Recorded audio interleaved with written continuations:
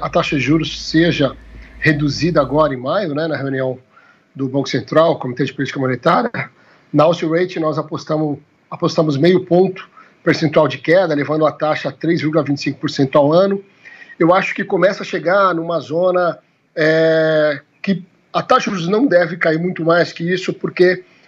o Banco Central já fez grandes estímulos por meio de liquidez, por meio de diversas medidas adotadas, então começa a ficar um pouco estreito né, o limite que ele tem para redução de taxa de juros. E até porque a eficiência de uma queda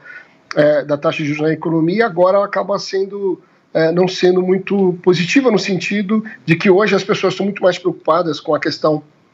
da saúde pública do que de fato é, com o consumo em si, né? Ou seja, toda a preocupação agora é de uma poupança, de uma redução de despesa, de gastos, para depois que passar esse problema de saúde pública, a economia voltar a se recuperar e sim as famílias voltarem a consumir. Tem espaço para cair sim, a taxa de inflação, como você disse, está no nível muito favorável